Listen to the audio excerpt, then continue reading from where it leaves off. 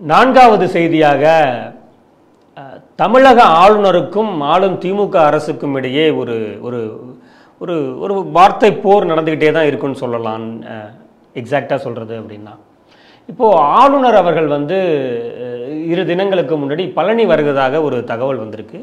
அப்போ ஆளுநரின் செயல்பாடு பொதுவாகவே பொதுமக்களையே ஈர்த்தி இருக்கிறது அவர் வந்து சனாதனத்தின் மீது சொல்கிறது கோவில்கள் மீது சொல்கிறது இந்திய கலாச்சாரம் பற்றி குறிப்பிடுது. குறிப்பாக தமிழ் மொழியின் வளம் குறித்து அவருடைய ஆர்வத்தை காட்டுறது.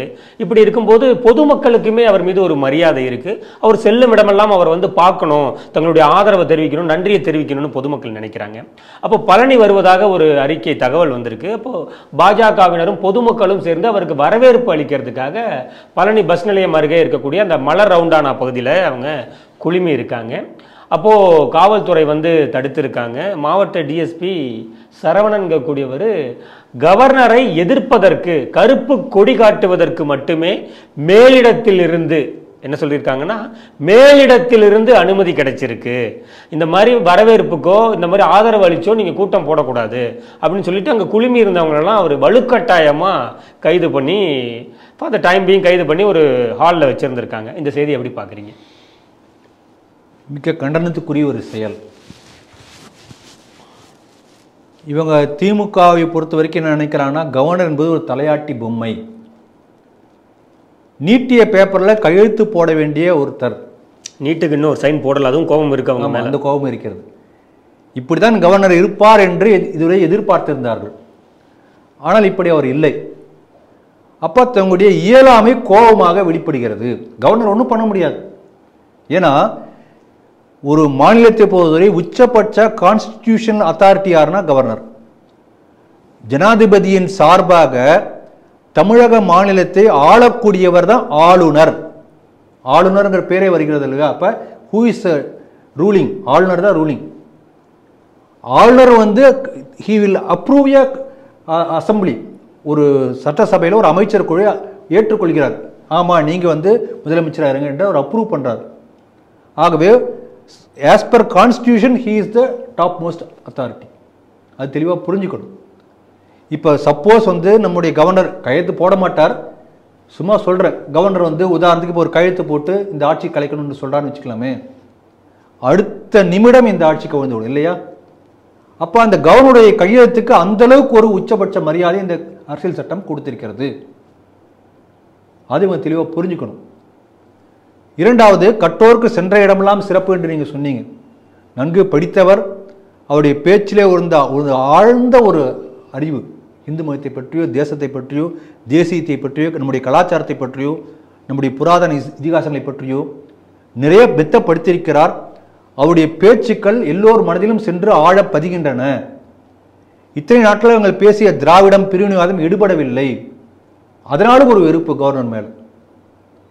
மூன்றாவதாக பாருங்க கவர்னர் நம்முடைய மேதகு ஆளுநர் பிரிவினைவாதிகளுக்கெல்லாம் நாகாலாந்தும் சரி எல்லைப்புறம் பகுதிகளும் சரி பயங்கரவாதிகள் எல்லாம் பணிய வைத்திருக்கிறார். பிரிவு பிரிவினைவாதம் பேசக்கூடியவர்களை மாற்றி இருக்கிறார் அவங்கள பயங்கரவாதத்தை விட்டுவிட்டு ஆயுதங்களை கீழே போட்டுவிட்டு தேசிய நீரோட்டத்தை கலக்க செய்திருக்கிறார். நிறைய எக்ஸாம்பிள்ஸ் இருக்கிறது.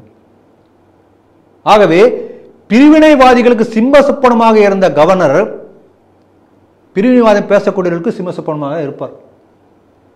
அந்த தொடை நடுக்கம் இருக்கிறது. ஏன்னா இவங்களை இத்தனை நாள் வரை தனித்தமிழ் என்று தனித்தமிழ்நாடு என்றும் தமிழ்நாடு தனி இனம் என்றும் இப்படிலாம் பேசியவர்கள்.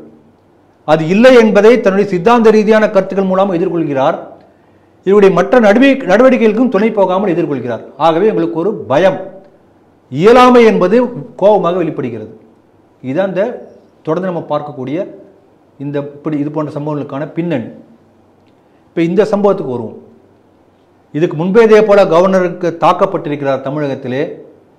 வெட்கக்கேடு எந்த மாநிலத்திலும் நடக்காத ஒரு செயல். ஒரு மாநிலத்தின் ஆளுநர் வெளிப்படையாக தாக்கப்படுகிறார். அதுக்கு போலீஸோ மற்ற அரசு எந்திரங்களோ உடந்தையோ என்று நினைக்கக்கூடிய அளவுக்கு நடந்து கொள்கின்றன இதுதான் சூழ்நிலை.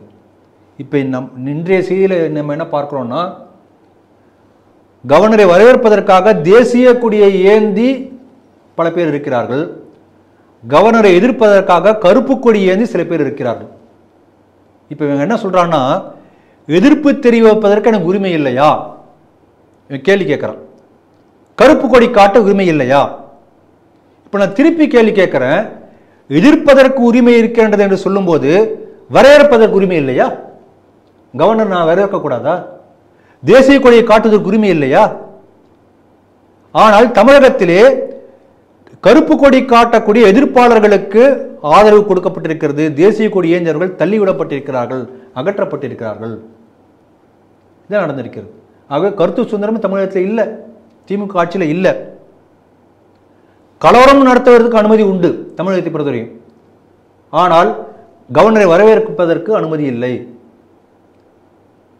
இதுதான் தமிழகத்து சூழ்நிலை இது. இன்னொன்று பாருங்கள் காவல்துறையுடைய ஆதரவோடு தான் நீங்கள் சொன்ன நீங்கள் உங்கள் statement as per your statement காவல்துறையின் ஆதரவோடு தான் இப்படிப்பட்ட கருப்பு கொடி காட்டக்கூடிய இந்த போராட்டம் நடை நடைபெற்றிருக்கிறது.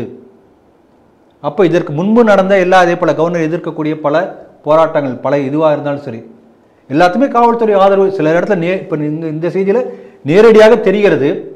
நேரடியாக தெரியாமல் மறைமுகமாக காவல்துறை ஆதரவு இருக்கும்.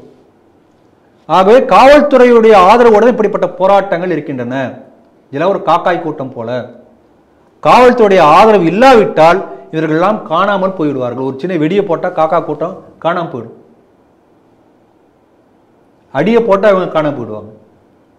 ஆனால் இப்படி காவல்துறை தங்களை எதிர்க்கும் என்று தெரிந்தாலும் கூட தங்களுடைய தேசபக்தியை வெளிப்படுத்துவதற்காக தேசிய கொடி ஏந்தி வந்த அப்படிப்பட்ட சில பேர் அவர்கள் வந்து உள்ள கொண்டு போய் உட்கா- வச்சிருக்காங்க. தொடர்ந்து இதே போல் நடந்து கொண்டிருக்கிறது. அவர்களெல்லாம் பாராட்டுதலுக்குரியவர்கள். அவங்களாம் காக்கா கூட்டம் இல்லை சிங்கம். சிங்கம் சிங்கிளாக வந்தால் கூட சிங்கமாக வரும். ஆகவே அப்படிப்பட்ட தேசபக்தர்களை நாம் வாழ்த்துகிறோம். இரண்டாவது விஷயம் பாருங்கள் தேசிய கொடியை அப்புறப்படுத்துவது போல அவமானம் செய்திருக்கிறார் இந்த டிஎஸ்பி ஆகவே அதற்காக ஒரு மன்னிப்பு கேட்க வேண்டும். அதற்காக சட்ட ரீதியான என்ன நடவடிக்கை உண்டோ அதெல்லாம் எடுக்கணும். நிச்சயமாக. ஒரு ஒரு டிஎஸ்பி போலீஸ் ட்ரைனிங் எடுத்துட்டார்ல தேசிய கொடிக்கு என்ன மரியாதை தரணும் இது கூட படிக்காத ட்ரைனிங் எடுத்தார். நிச்சயம் எடுத்திருப்பார். ஆனால் அப்படி இருந்தாலும் கூட தேசிய கொடிக்கு அவமரியாதை செய்திருக்கிறார் என்று சொன்னால் நான் எப்படி பார்க்குறேன்னா டிஎம்கேவுடைய குட் புக்ஸில் வர வேண்டும் என்று சொன்னால் அதுக்கு தான் அப்படிலாம் பண்ணுறாங்க வேற என்ன? தேசியத்துக்கு தேசியம் சார்ந்த எதைக்கும் அவமானம் ஏற்படுத்தினால்தான் டிஎம்கேவுடைய குட் புக்ஸில் வர முடியும். ஆகவே டிஎம்கே என்பது என்ன என்பது எல்லாருக்கும் தெரிஞ்சிருக்கிறது. இதன் மூலம் நமக்கு தெரிய வருகிறது. இன்னொன்று பாருங்க நிர்வாகம் என்பது வேற கட்சி என்பது வேற. ஆனால் கட்சியுடைய சித்தாந்தம் அப்படியே நிர்வாகத்திலே பிரதிபலிக்கக்கூடிய ஒரு மோசமான அம்சம் தமிழகத்திலே தொடர்ந்து அரங்கேறி கொண்டிருக்கிறது. அப்படிப்பட்ட ஒரு அம்சமாகவும் இந்த செய்தியை நான் பார்க்கிறேன். எப்படி இருந்தாலும் டிஎஸ்பி செய்து பெரிய தவறு. அதற்காக சட்ட ரீதியான நடவடிக்கை அவர் மீது எடுக்கப்பட வேண்டும் என்று சொல்லி இந்த செய்தியை முடிக்கிறேன்.